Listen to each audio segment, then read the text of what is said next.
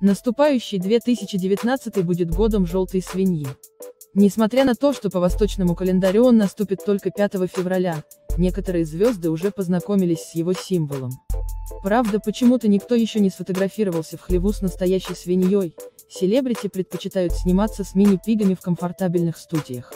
Так Ольга Бузова в своем напряженном графике нашла время, чтобы устроить фотосессию сразу с двумя свинками. Безумно счастлива, что в субботу ночью нашла время для этой съемки для себя, рассказала Ольга. График сейчас сумасшедший, работаю вплоть до 31 декабря. А так, смотришь на это видео, и хоть немного чувствуешь приближение Нового года. Мини-пиги просто чудо какое-то. Поклонники посоветовали Оле завести такого и держать дома вместе с ее любимыми собаками. Ведь не секрет, что символ года всегда приносит удачу. Уходящий 2018 был для Бузовой действительно счастливым. Она все еще не нашла свою любовь, зато осуществила давнюю мечту, Проехала по стране со своим сольным шоу и с аншлагом дала два концерта на огромных площадках в Москве и Санкт-Петербурге.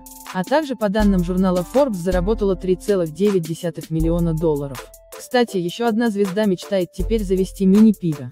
Хотя бы на одну ночь. Ирена понарошку поделилась с поклонниками своим открытием, сейчас идет год собаки, верно? А я ведь его встречала вдвоем с собакой, которую мне подкинули друзья буквально 31 декабря, говорит Ирена.